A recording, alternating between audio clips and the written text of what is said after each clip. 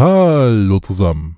So lustig es auch ist, sich über Idioten zu beömmeln, möchte ich mal was halbwegs Interessantes machen. Und zwar möchte ich erklären, was ein Strohmann-Argument ist. Und zwar anhand eines Beispiels. Das hier ist Bruder Silvio oder Silvio oder Silly Billy oder wie auch man ihn nennen möchte. Und ich weiß, es ist gefährlich, ihn als Beispiel zu benutzen, weil Silvio hat eine GmbH und könnte mich versuchen, damit zu verklagen, weil er nicht weiß, wie Gesetze funktionieren.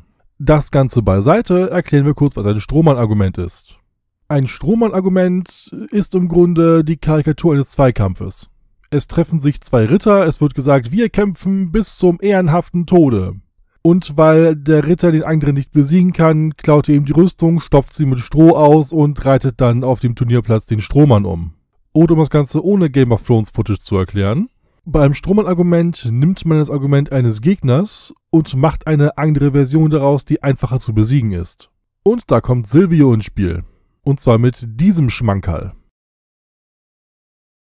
Dass das Leben sehr primitiv und einfach begonnen haben soll?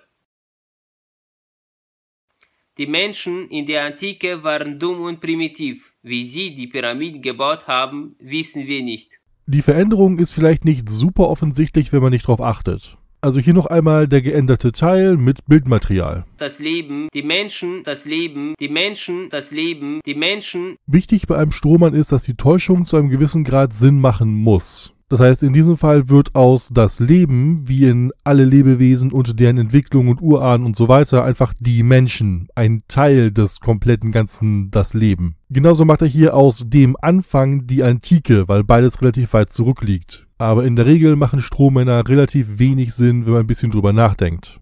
In diesem Fall haben wir auf der einen Seite einen Atheisten, der etwas sagt in Richtung, die ersten Lebewesen waren wahrscheinlich sehr primitive Protozellen, und Bruder Silvius Konter darauf ist, aber Menschen in der Antike haben Pyramiden gebaut. Das heißt, dadurch, dass Bruder Silvio das ursprüngliche Argument durch seinen Strohmann vollkommen falsch dargestellt hat, argumentiert er jetzt Punkte, die nie irgendjemand erhoben hat. Die Evolutionisten wollen uns einreden, dass die Menschen früher dumm und primitiv waren und angeblich in Höhlen gelebt haben sollen. Doch die Pyramiden beweisen genau das Gegenteil. Und hier sehen wir ein weiteres Problem des Strohmann-Arguments. Man muss die Linie halten. Dadurch, dass Bruder Silvio den Anfang allen Lebens und die Antike in denselben Topf geworfen hat, muss er jetzt notgedrungen argumentieren, dass Jäger- und Sammlerkulturen, die vor der Eiszeit gelebt haben, und antike Ägypter, im Grunde dieselben Leute waren. Nur um das einmal in Kontext zu fassen, die Altsteinzeit hat vor etwa 200.000 Jahren begonnen. Die ersten verhältnisweise primitiven Stufenpyramiden wurden in Ägypten etwa um 2700 vor Christus gebaut. Das heißt, wir haben hier etwa 200.000 Jahre an Geschichte zusammengefasst. Und jetzt erzählt euch der komische Mann im Internet, dass die Mondlandung 1969 stattgefunden hat und das Gerät, auf dem er dieses Video guckt, deutlich mehr Rechenleistung hat als die Computer der NASA zur damaligen Zeit. Und das ist gerade einmal 50 Jahre her. Also ist es minimal problematisch, 200.000 Jahre an menschlicher Entwicklung zusammenzufassen und als früher zu bezeichnen. Sogar das größte Bauunternehmen der Welt kann dir heute nicht so eine Pyramide bauen. Und natürlich muss man die Schlussfolgerung ab und zu mit faustdicken Lügen untermauern. Denn wir wissen nicht nur, welche Werkzeuge und Methoden an Pyramiden benutzt wurden und können das Ganze nachstellen, sondern es gibt auch moderne Pyramiden und zwar einen ganzen Haufen davon. Und wenn wir das alles beiseite schieben, erinnern wir uns daran, das eigentliche Thema war der Ursprung des Lebens und nicht der technologische Grad der Menschen in der Antike. Ihr seht, warum Strommänner so nervtötend sind, oder? Uns wird auch der Schwachsinn erzählt, dass die Pyramiden als Grabmal für den Pharao errichtet worden sind. Und ähm, das ist ein Be Beispiel für. Ähm, okay, okay, ich habe keine Ahnung, wo Typ damit hin will. Das ist nicht mehr Teil des Erklärvideos. Doch es wurden noch nie Mumien in einer Pyramide gefunden. Fast alle Pharaone sind im Tal der Könige begraben, der Rest irgendwo anders. Ja, das irgendwo anders sind die Pyramiden. Was redest du? Du machst mir Angst. Diese Pyramiden waren in Wahrheit riesige Kraftwerke, wo Strom produziert wurde. Äh, äh, äh, was? Das ist die Wahrheit, liebe Atheisten. Also nichts mit alle waren früher dumm und primitiv.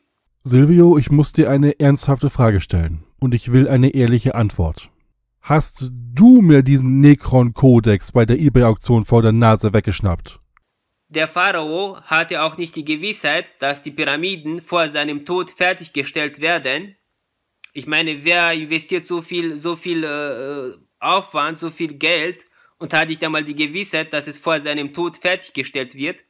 Verstarb ein Pharao, bevor seine Pyramide fertig war, wurde er in einem Tempel oder einer anderen Grabstätte zwischengelagert und wurde nach Vollendung der Pyramide in diese Pyramide überführt.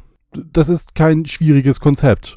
Und wie springst du von der Pharao weiß nicht genau, ob seine Pyramide fertig wird, bevor er stirbt, zu Necron Power Pyramiden? Jetzt betet er eigentlich noch zum heiligen Alex Jones. Wenn etwas entdeckt wird, was mit der Evolutionstheorie nicht zusammenpasst, dann kommt das Militär und die Regierung und sie beseitigen äh, diese ganzen Sachen. Aber das mache ich irgendwann anders mal weiter. Ich möchte jetzt einmal auf mein ursprüngliches Thema zurückkommen. Strohmänner. Wenn ihr euch erinnert, diese Diskussion hat mit dieser Aussage eines fiktiven Atheisten angefangen. Dass das Leben sehr primitiv und einfach begonnen haben soll. Und nach all den Strommännern und Kurven und Wendungen ist die Antwort von Bruder Silvio darauf, aber die Ägypter hatten geheime Kraftwerke und darum waren die eigentlich ziemlich schlau. Ihr merkt, wie wegen diesem Strohmann Prämisse und Antwort nicht zusammenpassen. Und genau darum sollte man Strohmänner nach Möglichkeit vermeiden. Man argumentiert auf Ebenen, die so nie vorgesehen waren, oder argumentiert gegen Positionen, die so nie geäußert wurden. Meistens beides.